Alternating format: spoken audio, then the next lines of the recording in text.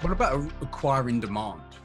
and the, the, core differences in demand that you were finding or, or, those sources of surprising demand that you found both at, at eBay versus Airbnb? Yeah, look, I think that um, the increasing role that um, um, the earned media plays in the development of a brand and the role that social, I mean, one misstep by a brand um, can um, spread like wild, can spread like wildfire right across the internet,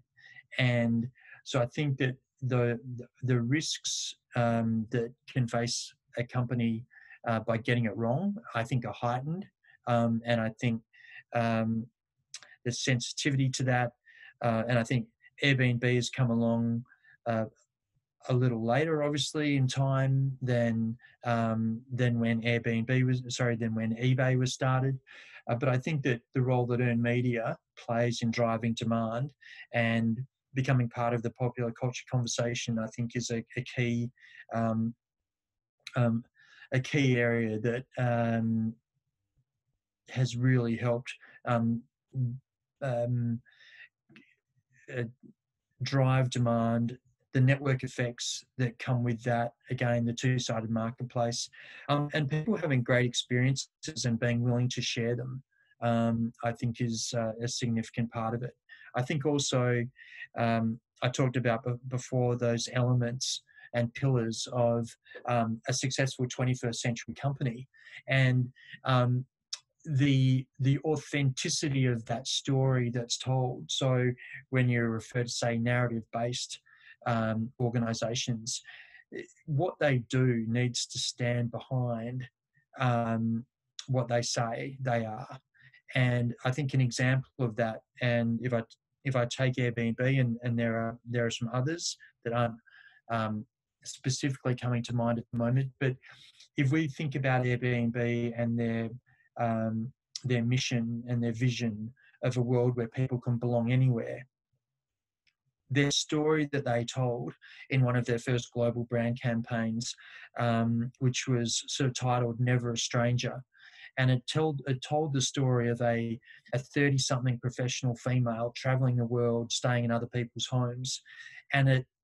it right out of the gate it addressed the uncomfortable truth of staying in someone else's home.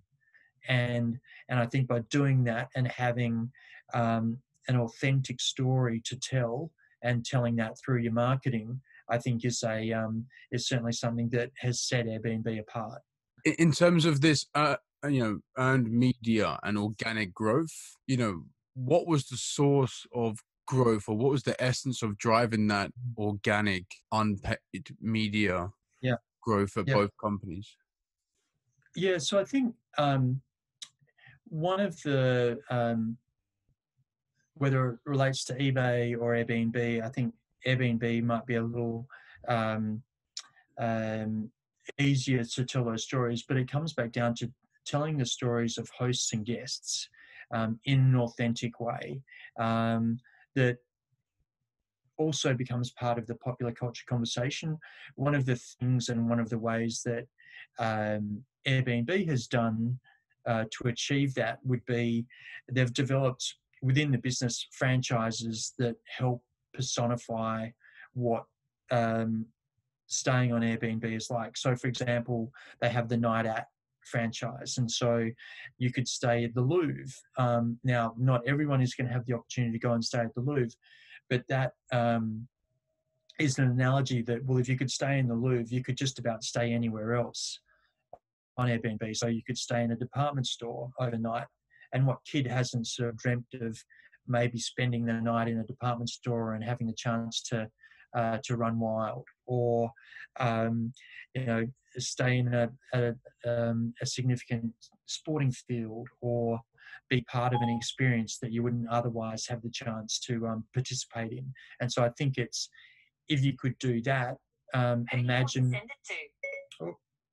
the mm. sorry siri picking up on the, on the conversation the um, um, imagine what else you could yeah. imagine, imagine what else you could do